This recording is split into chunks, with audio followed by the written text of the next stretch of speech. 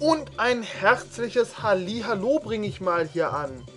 Ich mach mal eben was, so rein nebenbei, so rein, ähm, ja, wie ihr es hier gerade am Tun mitbekommt, äh, mich selbst anrufen bei Skype, sage ich mal. Ähm, ja, warum mache ich das denn nur? Weil ich blöd bin und nicht dran gedacht habe, das vorher machen zu können. Warum habe ich nicht vorher dran gedacht? Weil, wie soll ich sagen, ich blöd bin? Äh, komm, starten. Super, jetzt baue ich hier gerade mit mir selbst einen eigenen kleinen Steam-Chat auf. Das ist ja, wow, also es ist ja echt enorm. Äh, Steam sage ich schon. Skype meine ich. Genau, also warum mache ich das Ganze? Uff, wie soll ich sagen? Äh, es ist interessanter. Nee, also, ähm, ja, Originalgröße, das bringt mir alles nichts. Äh, Bildschirmfüllend. Genau, gut, und dann kann ich das hier auf Vollbild schalten, aber äh, konnte man das früher nicht mal extra anzeigen? Nein, das konnte man das konnte man mal, ich weiß noch nicht mehr wie. Okay, dann machen wir es einfach mal ganz geschickt. Ja, ihr seht es hier vielleicht schon. Hier, könnt ihr vielleicht auch schon lesen. Hier, habe ich bei Facebook gepostet. Hier, Sefum Moloba. Naja, fangen wir, fangen, fangen wir am besten mal von vorne an. So nach einer Minute fangen wir von vorne an. Ähm, ja, also, wie fange wie fang ich am besten an? Hier unten. Also in der, in der Skype-Liste, also in der Taskleiste. Seht ihr keinen, ich wiederhole, keinen äh, Steam. Also seht ihr Steam nicht mehr. Origin ist da, Skype ist da, TeamViewer ist da, Hamachi ist da, Fraps ist sogar an, die Tonaufnahme. Ich habe sogar die Windows-Warnung. Aber Steam ist nicht da. Warum? Ja, ihr habt vielleicht schon gelesen, hier steht es ja direkt. Also, der nette Herr hier hat mein Steam-Account geklaut. Wie ich das rausgefunden habe. Steam ist ja, könnt ihr hier alles selbst nachlesen. Ich habe hier ähm, alles drinstehen, was ihr wissen müsst. Lest einfach mal durch. Äh, habt ihr vielleicht sogar schon. Wenn nein, drückt jetzt auf Pause und lest durch. Pada! Und ich hoffe, ihr habt gelesen. Wenn nein und ich jetzt hier einfach viel zu schnell war, Pech gehabt. Haha. Äh, klicke einfach mal. Also hier haben wir den. Hier haben wir mal seine Seite. Also der war auch online. Der schreibt nur nicht zurück. Der Kerl. Also wenn, wenn, der, wenn sein Account auch gehackt worden ist, dann frage ich mich, warum der Hacker so einen Blödsinn schreibt. Oder warum, warum er nicht darauf die Idee kommt, seine E-Mail-Adresse zu überprüfen, die der Hacker benutzt hat, um an meinen Account von Steam ranzukommen. Also der, der Hacker, sage ich mal so, ähm, ja, der wollte meine E-Mail-Adresse auch hacken, damit ich mich nicht beim Support melden kann und bla bla bla und damit ich auch gar keinen Fall mitbekomme, dass mein Steam-Account gehackt worden ist. Blöd ist nur, meine E-Mail-Adresse ist gesichert über eine weitere. und das hat ihn fertig gemacht, demnach konnte überhaupt nicht mehr reagieren und ich habe ihn alles verhindert. Also ich konnte mit meiner E-Mail-Adresse alles verhindern. Worauf ich eigentlich hinaus möchte, ist, ich möchte verhindern, dass sowas nochmal passiert. Also ich würde gerne verhindern, dass... Wie soll ich sagen? Uff. Ja, ich möchte gern verhindern, dass hier so ein Scheiß nochmal passiert. Weil es ist einfach scheiße. Ne? Also, also wer wird schon gerne gehackt? Ne? Also, vor allen Dingen mein Account, also den muss ich halt sagen, ey, super. Ich, ich habe ja echt nicht so viel Geld und ich habe ja auch echt nicht so große ähm, Sachen auf Steam, sage ich mal. Aber letzten Endes habe ich insgesamt einen Wert an Spielen von äh, Originalpreis bei allen Spielen jetzt grob geschätzt 500 Euro. Also das war nicht gerade billig, das, was ich mir da besorgt. Na gut, ich habe eigentlich alles was Angebote geholt, größtenteils. Ich habe persönlich 300 ausgegeben nur. Aber das innerhalb eines Jahres. Ne? Also der Account hat doch einen relativ gesehen hohen Wert. Und naja, da ist ein Verlust. Ja, ich kam gerade meine Tasche aus, wo mein Abendessen drin ist. Und das zu dieser Uhr. Ach, ihr seht die Uhrzeit gar nicht. Yay! Wir haben 0 Uhr. Ja, ich komme gerade mein Abendessen raus. Ja, ich bin sehr interessant. Ja, und... Wie soll ich sagen? Ist scheiße gelaufen, wa? Ähm, ja, und was ich jetzt groß zeigen wollte, ist, ich habe sogar mit mir selbst geschattet. Äh, Darkseid. Facebook gefunden und werde dich anzeigen wenn ich mein Steam nicht wieder kriege, das Problem ist nur, dass es kein Deutscher.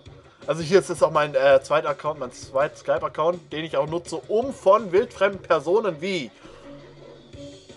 Blackie720 Jo, ich habe jetzt gerade einen Namen genannt. Äh, ich die nutze ich, um von solchen Leuten einfach ähm, Aufnahmen zu bekommen, ohne dass die mir irgendwie E-Mail-Adresse und dergleichen verraten müssen.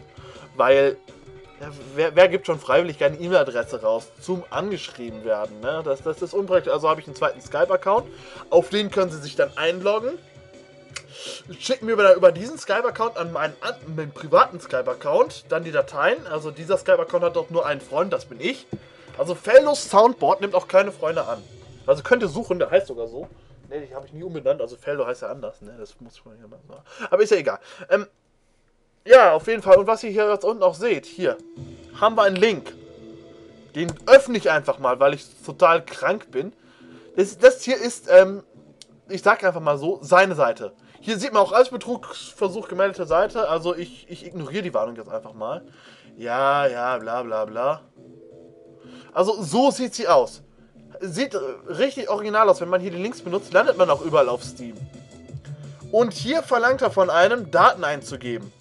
Habe ich gemacht, also ich muss ehrlich zugeben, ich habe hier meinen äh, Steam-Usernamen eingegeben. Allerdings habe ich mich beim Passwort, ich habe mehrmals darüber nachgedacht, scheiße eingetippt. Also ich nutze insgesamt in meinem Leben 20 Passwörter und das Steam das automatisch macht. Ja, ich habe mein aktuellstes Passwort eingegeben und Steam hat noch mein ältestes. Also ihr, ihr könnt da irgendeinen Bullshit eintippen. Wenn ihr bei Steam angemeldet seid, ihr, ladet ihr euch ein Spiel runter. Ihr könnt hier sogar ein Spiel auswählen. Das Problem ist nur, ihr ladet ein äh, American Army 3 runter, automatisch. Das Spiel gibt es schon seit Jahren nicht mehr auf Steam. Das Spiel gab es vor Ewigkeiten auf Steam. Also das Ding ist uralt. Ich wiederhole, das Spiel ist uralt, aber man kennt es halt. Und das Spiel ist ein äh, äh, Fehler, sage ich mal. Das ist ein Programm von dem netten Hacker hier, sage ich. Und, äh, naja, ich habe da einfach ein Bullshit eingegeben, sogar bei der E-Mail. Die E-Mail-Adresse habe ich sogar eine komplett falsche eingegeben. Weil ich dem ganzen Brat nicht vertraut habe. Muss ich ja zugeben. Allerdings kommt er über dieses Spiel, was uns ja gelandet ist, an alle Daten ran. Ich dachte mir, ey, super, installierst du es mal, guckst mal rein. So falsch kann es ja nicht sein. Und dann auf einmal, pff, weg war's. Da, da, auf einmal war der komplette Scheiß, äh, ja, ich muss hier mal ein bisschen was machen. Ähm, auf, auf einmal war der komplette Account weg. Also der wollte sich einfach mal ein Fremder anmelden. Ich wollte eben schnell das Passwort äh, nochmal eintippen, was er ja eigentlich von einem verlangt. Ich war zu langsam scheinbar. Ich wollte auch eh das Passwort direkt ändern, weil ich hatte da eh schon ein ungutes Gefühl, sagen wir es mal so. Und naja, wie soll ich sagen? Also ich hatte ein ungutes Gefühl, demnach habe ich da auch nichts ähm, gemacht dran und ja, wie soll ich sagen, das, das, da hatte ich einfach ein ungutes Gefühl. Also habe ich da eh nur Scheiß eingegeben. Und naja, er kam trotzdem alle Daten ran und jetzt komme ich nicht mehr auf meinen Account. Allerdings habe ich den Steam Support direkt gemeldet. Auch dem Steam Support die E-Mail-Adresse, die ich durch den doppelten E-Mail-Schutz bekommen habe, gegeben. Und auch hier ähm, den Link, den habe ich dann auch gesendet. Ich habe sogar ein Video gemacht von meinem, also ich habe noch ein altes Video gefunden, hier die Danksagen von Sergeant Rumpel wo ich die Spiele meiner Liste alle zeige. Da jetzt habe ich den auch gegeben, damit die einfach wissen, es handelt sich hier wirklich um meinen Account. Habe sogar darauf hingewiesen, dass das ein älteres Datum ist. Also, dass die Spiele mehr geworden sind. Und ich habe auch die, sein Facebook, das, was ich da gefunden habe, mitgeschickt. Einfach nur in der Hoffnung, dass es vielleicht was bringt. Und hier, ich, ich zeige es einfach mal so, das habe ich gerade vom Bedolfers bekommen. Ich habe auch gerade den Anruf beendet. Hier, das Spiel variiert. Also, thanks for Persian Counter-Strike Global Offensive. No us, we promise you will get a free game. You shows in your game list. Check out. Hier haben wir den Link, den ich gerade angeklickt. Don't forget to give it to your friends and say thanks. Have fun, Steamclit. Ähm, so einen Link habe ich auch bekommen. Bei mir war es allerdings Black Ops 2. Was mich auch schon verwundert, verwundert hat, denn ich habe bei Black Ops 2, äh, das habe ich mir nie geholt. Wird allerdings in meiner Liste angezeigt, weil ich da mal im Gratis-Wochenende teilgenommen habe, wo mein Rechner allerdings so scheiße für war. Und hier läuft es halt einfach hier Counter-Strike Global Offensive und das Lustige ist, jeden Account, den er hat, da geht er erst einmal die Freundeslisten durch und dann direkt die Gruppen. Ich bin durch ähm, den Felder MW3-Treff drauf gekommen und wenn man mir dann eine Chat-Anfrage schickt, denke ich immer, vielleicht hat da ein Abonnent eine Frage, demnach habe ich angenommen, der hat mir den Link geschickt. Ich habe das gelesen, habe Link gesehen, dachte mir, ja, vielleicht guckst du mal drauf, hab das gesehen. Ey, Free Game guckst mal nach, hab dann hier bei der, habe ich dann hier ja den Scheiß eingetippt, sagen wir mal hier so und so und so. Hab dann hier, ich habe auch offiziell hier ähm, Call of Duty Modern Warfare 2, hab dann hier auf Login geklickt und dann möchte er, dass man das hier runterlädt und das ist das Problematische. Wenn er das runterlädt, dann habt ihr eigentlich schon verloren. Ich klicke jetzt eigentlich mal auf Abbrechen und beende das hier ganz normal. Das kann ich jetzt auch beenden. Das kann ich auch beenden. Also das ist hier mein privates Facebook, ne? Das ist mein Hintergrund, ist ja egal. Also, und ich möchte darauf hinweisen, wenn ihr auf diese komische Seite kommt, wo, da, wo dieser Text ist, wo nur das Spiel variiert, meldet diesen Account so, sofort, sofort dem Steam Support als geklaut. Weil das ist ein Hacker, der auf den übelsten Schneeball-Effekt, also der, der den übelsten Schneeball-Effekt nutzt überhaupt. Und ich möchte hier einfach mal darauf aufmerksam machen, in der Hoffnung, dass man vielleicht mal na, aufpasst auf solche Aktionen und dann eventuell auch hilft, ihn zu stoppen. Ich und Bedolfos, also wir kamen schon auf den Gedanken, dass er so allmählich äh, mehr im spanischen Raum lebt, dank des Facebook-Accounts, wobei wir nicht sicher sein können, dass es seins ist. Wobei ich dann sagen muss, es ist relativ eindeutig, so wie die E-Mail-Adresse genutzt wird und der Facebook-Account. Also da muss ich schon sagen, es, es, wirkt relativ eindeutig, so als ob das echt ein Neuling ist, der noch alles Private nutzt. Ja, Idiot, muss ich da einfach mal sagen. Und da ich einfach persönlich meinen Steam-Account zurückhaben möchte, gehe ich mir allergrößte Mühe, den jetzt zu stoppen. Da das Blöde ist, dass ich auch in der Gruppe von Lonely Pixels war, ist es so, dass er über die Gruppe von Lonely Pixel, das habe ich durch Beläufs mitbekommen, ähm, weitere Opfer gefunden hat.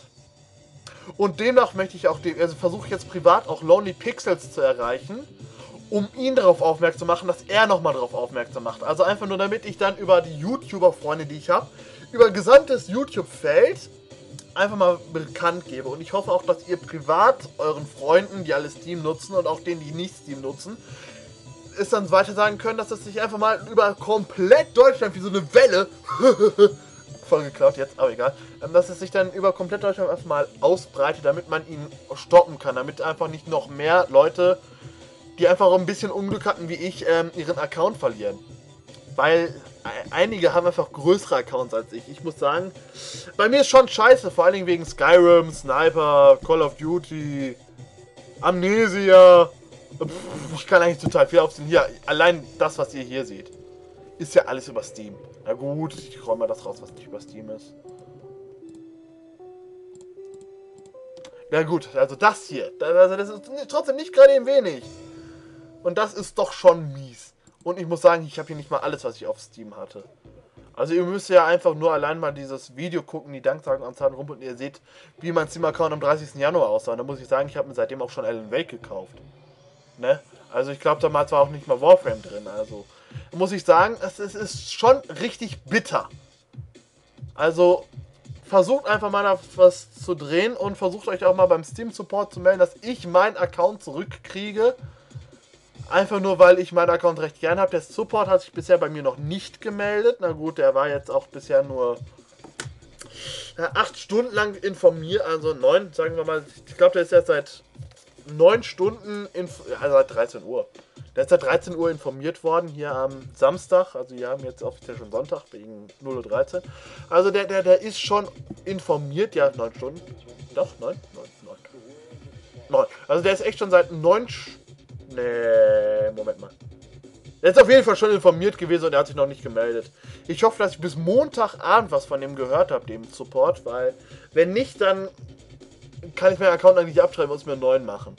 Was relativ scheiße wäre so. Aber da muss ich jetzt sagen, beende ich einfach mal diese Information und ja, mein Account wurde gehackt und ich hoffe, dass ich ihn bald wieder bekomme. Auf Wiedersehen, euer Feldo.